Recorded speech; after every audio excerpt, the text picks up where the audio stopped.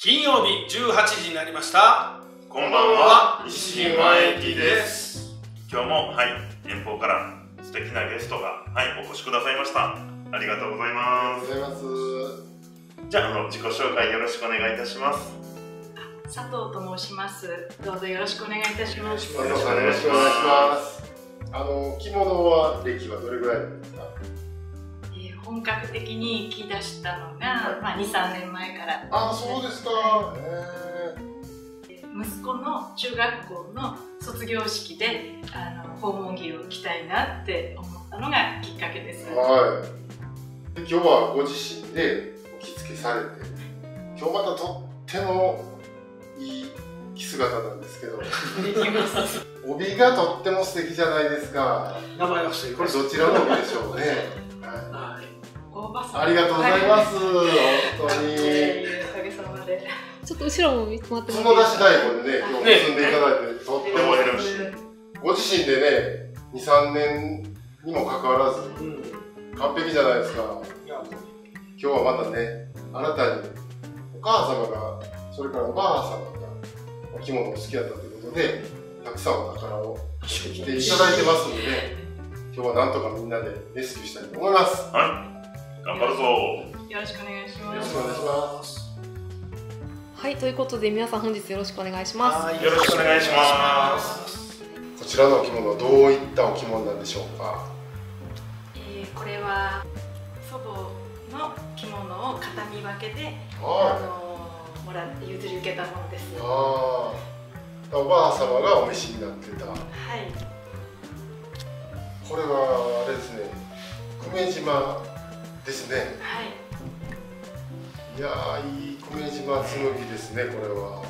なかなかこの着物に合う帯が塩背の白っぽい白地の帯は一回締めたことあるんですけれどもそれ以外に思いつかなくて眠らせてしまってました、えーぜひ今日レスキューしていただいたらあの私クラシックの演奏会に行く時によく着物着ていきますのであのぜひあのクラシックの演奏会に着ていきたいなと思っております。あはいじゃあ大場さんお願いします。お尻ーはい1本目オーバーで行かせていただきます。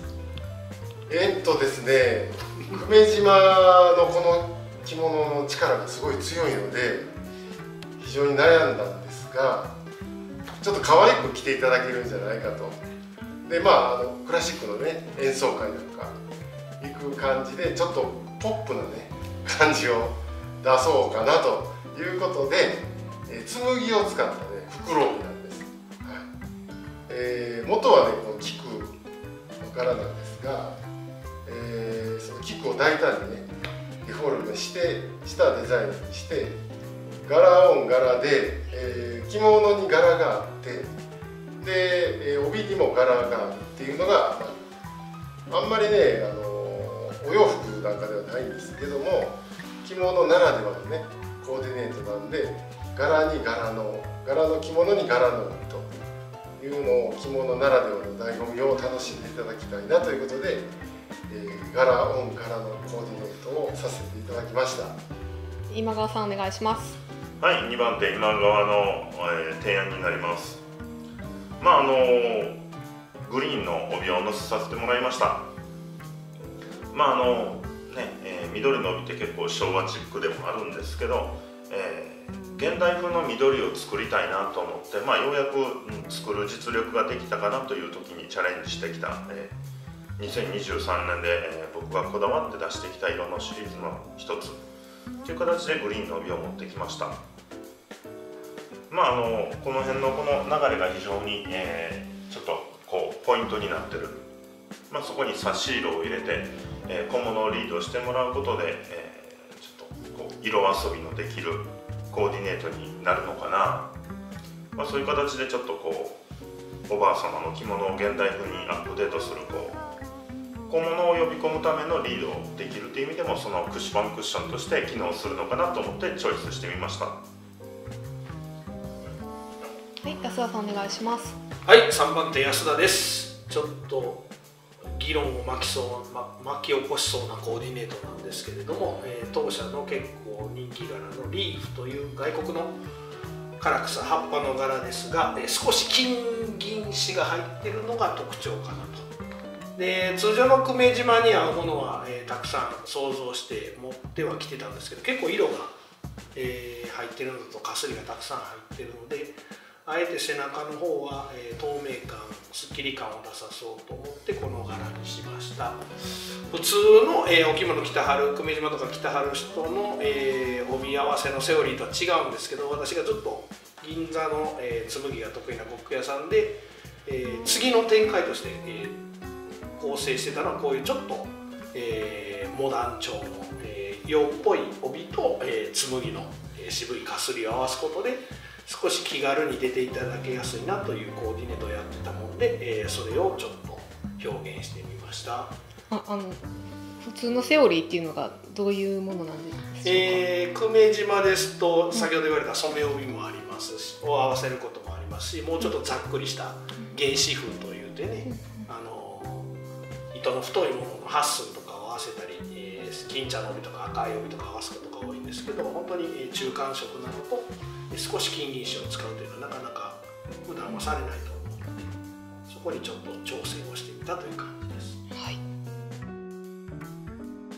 さてこのいい一品物ね久米島紬にベストワンの帯があったでしょうか？こちら。おお！おこっち来た。意外。安田さんの帯ということで。お三方のあの帯を拝見してましたらあのなんでしょう。あの安田さんの帯を見た時になんかスッとこうあのスッと来た。えあのなんなんでしょう。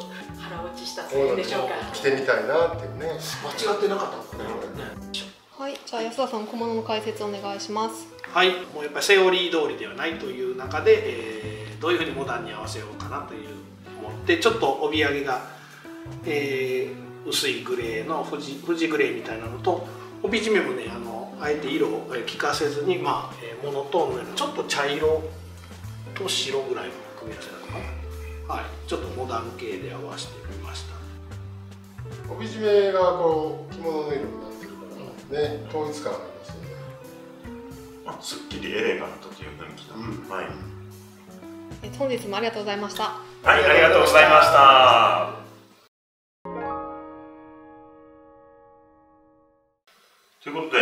タンス着物レスキューでした。あの本日はありがとうございました。ありがとうございました。今日あの帯を選んでいただいた着物についてあの私自身あの勝手にですけどあの亡くなった祖母から宿題を出されたような気持ちでずっといたんですけれども今日皆様のおかげであの答えが出せまして大変喜んでおります。ありがとうございました。ありがとうございます。我々もね本当にあの最近見られない染め物であったり織物であったりでしたので非常に勉強になりましたよね。めちゃくちゃ勉強になる以上京都西陣から西陣ワインティーでした。またまた来週。このチャンネルでご紹介させていただいた商品についてお問い合わせがございましたら LINE でメッセージください。公式 LINE アカウントのご案内は動画の説明欄に記載されております。お気軽にお問い合わせください